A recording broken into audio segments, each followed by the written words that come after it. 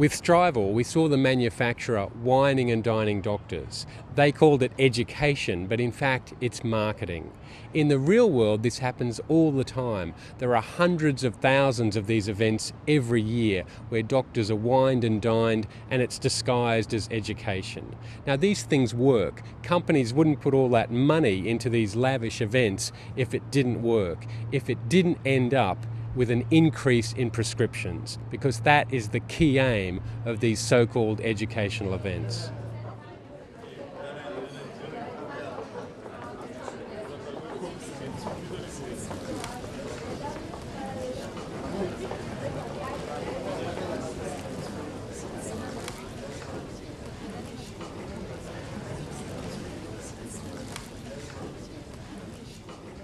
Gifts from pharmaceutical companies to doctors are a real problem because it means that the patient doesn't get truly objective, unbiased advice in the best interest because the doctor's been influenced by the pharmaceutical company that bought him or her meals or sent them on excursions or paid for trips or paid them consulting fees.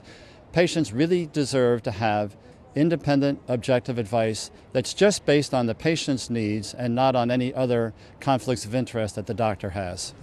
Gifts include cars, refrigerators, air conditioned system and houses and clinics and uh, even domestic animals in case of uh, developing countries like Pakistan are being gifted like buffaloes and uh, even uh, uh, school fees of uh, kids are being offered by the companies. It's unfortunate that when they have big medical meetings, they're usually at incredibly lavish resorts in fantastic destinations. And um, it's again unfortunate that the majority of these meetings are not educational in nature, they're more recreational in nature and uh, just under the guise of medical education. One really outrageous thing that's happening now in one state in the United States, it has been banned by law for pharmaceutical companies to spend more than $50 a year to take a doctor out to dinner. So what are the, what are the pharmaceutical companies doing now? They're taking out the nurses and the secretaries, taking them to restaurants they've never been to before, again trying to influence the doctor indirectly rather than directly sporting event tickets, uh, trips to magnificent destinations, uh, the sponsoring of little league teams that a physician's child might be on. Um, anything that can create a sense of entitlement with a physician is fair game when doctors receive gifts, they pres prescribe more irrationally. They prescribe more drugs rather than less. CI is calling for a global ban on gifts to doctors. For us, the evidence is clear. This presents no medical value, no benefit to consumers, and equals bribery. We should not stand for this, and there needs to be concerted global action to put a stop to this very unethical marketing practice.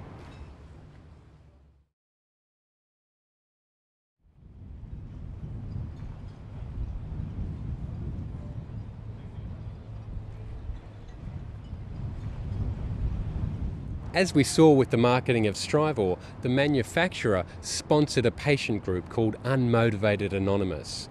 In the real world, this happens all the time. Something like two thirds of patient groups now take some money from drug or device manufacturers.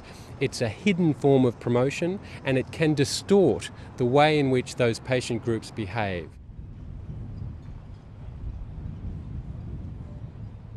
We see that drug companies are using patient groups in far more creative ways than we've seen in the past as a means to circumvent global bans on direct to consumer advertising.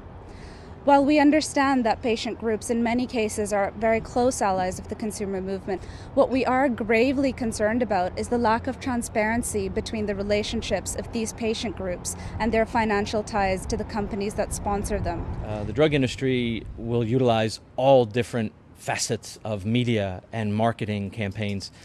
Patient groups are just another one of those facets.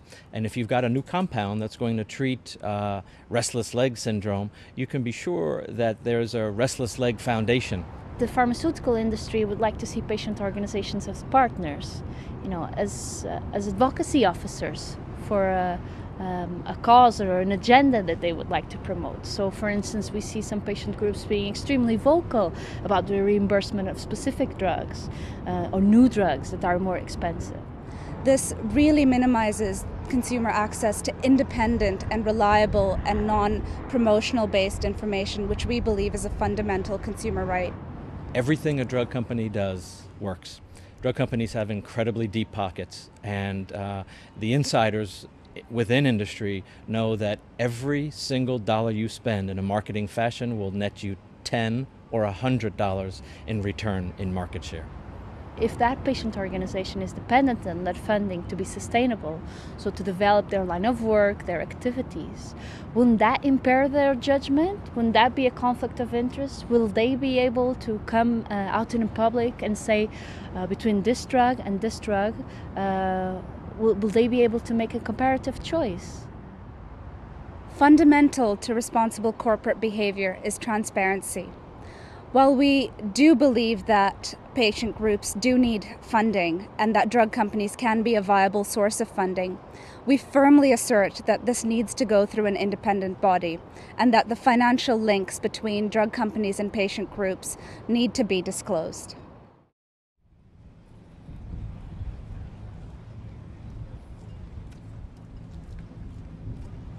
Informing the public is another key promotional strategy of the pharmaceutical industry. We saw it with Strivor, the manufacturer made infomercials that have been run on TV channels and so on in order to inform the public. But this is not information, it's advertising. It's part of the marketing strategies for the latest, most expensive medicines.